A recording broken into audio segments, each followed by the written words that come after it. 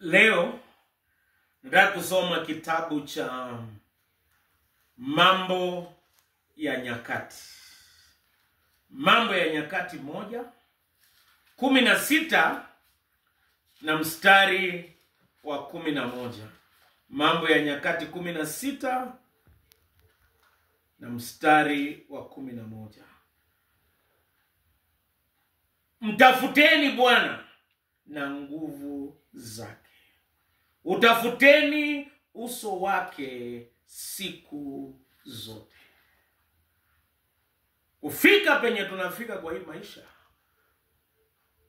for you to be counted a successful person, Abel, number one, you are committed to God. Penye utakuwa Kenya ama popote jitolee kwa kazi ya Mungu kwanza. Commitment to God is everything. Kuomba, kwenda kanisa, kabla ya vitu vingine, we begin with commitment to God. Number two, be competent. Kwa hii shughuli ambazo tunafanya, people will always respect a competent. Be the best. Tunataka ugraduate kutokea kwa hizo ndogo uende kwa engine kubwa. When you are committed, you will go places. When you are committed, every day you learn something new. Wakati unapojitolea, unajifunza kila siku kitu kipya. Be the best that you can be.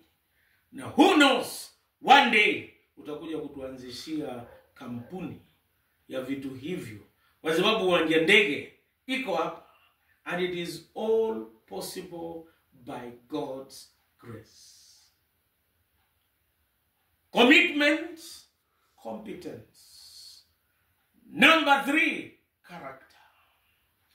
Ukiwa kule, tabia ni msingi. Character is everything. Naomba maadili ambayo ulifunzwa kutokea kwa babu mpaka kwa baba zako, endelea kushika maadili hayo. Neno ambayo nimesoma leo inapatikana kwa kitabu ambacho kinaitwa Mambo ya Nyakati. Mambo ya Nyakati iliandikwa na mtumishi wa Mungu aliyeitwa Ezra, na Ezra anaambia mtu ambaye anafanikiwa kwa maisha, kitu cha kwanza anamwambia mtafute Bwana. Vijana wengi wanatafuta vitu vingi, lakini leo kama ungekuwa unatafuta Bwana, hata haungeita mchungaji, hata ungeweka gogo hapa ukuje kuomba. Ukitafuta Bwana, kitu cha kwanza unapata msamaha wa dhambi. Kitu cha pili, ukitafuta Bwana unapata amani. Nilisikia hadithi moja ambaye inahuzunisha sana. Ule msichana mwenye alitafuta rafiki, na huyu rafiki akachukua petroli akamchoma na akazuia watu kwenda kumwokoa. Huyu alitafuta rafiki wa dunia hii, lakini ukitafuta rafiki Yesu atakupa amani, atakupa ushindi na atakupa matumaini. Haijalishi penye utakuwa, tafuta Bwana tafuta Yesu Kristo, kuwa na uhusiano naye kila wakati, muombe, mwite, naye atakuitikia. Jambo la pili, ukitafuta Bwana, ukitafuta Bwana ndio mwanzo wa kufanikiwa. Njia ya kwenda juu inapatikana kwa Bwana, njia ya kufanikiwa inapatikana kwa Bwana. Hata ikifika pahali utataka kuvuka daraja, ni katika Bwana ndiyo mambo yote inawezekana. Anasema itafuteni ufalme wa Mungu na haki yake, na vipi hivi vingine vyote mtazidishiwa. Tafuta Bwana, enda kanisa, omba, ita jina lake. Ezra anaandika na kusema ni Daudi ndio alikuwa anafurahi wakati sanduku la agano lilikuwa linaletwe Yerusalemu, na yeye akajua ni vizuri kumshukuru Bwana. Namna ya kumshukuru Bwana kwa maisha, kitu cha kwanza ni kumtafuta yeye. Kitu cha pili anasema tafuta na nguvu zake, owesho tororot. Nguvu ya Mungu ndio inakusaidia. Ulisoma, lakini unahitaji nguvu ya Mungu so that you can be the best of the best. Na hii nguvu ya Mungu, Biblia inasema wamngojeao Bwana watapata nguvu mpya.